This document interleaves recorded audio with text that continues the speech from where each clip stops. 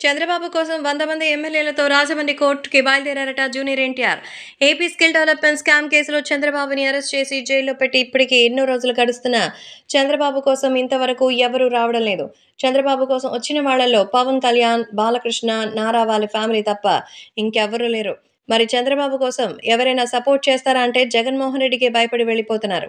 అయితే AP skill development scam కేసులో భాగంగా చంద్రబాబుకి ఇప్పుడు హైకోర్టు నుంచి సుప్రీంకోర్టు వరకు వెళ్ళిన నేపథ్యంలో ఖచ్చితంగా ఆయన బయటకు వస్తారంటూ చెప్తున్నారు. కాబట్టి సో వీటికి సంబంధించిన విషయాల్లో మాత్రం ఏ విషయం ఎంత సంచలనంగా ఉందనేది మీరే చూసుకోవాలంటూ చెప్తున్నారు. కాబట్టి ఈ విషయం తెలుసుకుని అందరూ చాలా షాక్ అవుతున్నారు.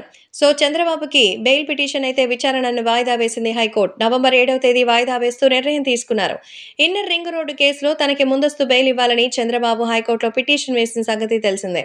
దీనిపై విచారించిన ఏపీ హైకోర్టు నవంబర్ ఏడవ తేదీకి వాయిదా వేస్తున్నట్టుగా తెలిపింది.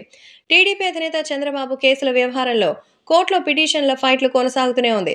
పలు కేసుల్లో ఏసీబీ కోర్టు నుంచి సుప్రీంకోర్టు వరకు వాదనలు వాయిదాల పర్వం అయితే కొనసాగుతోంది.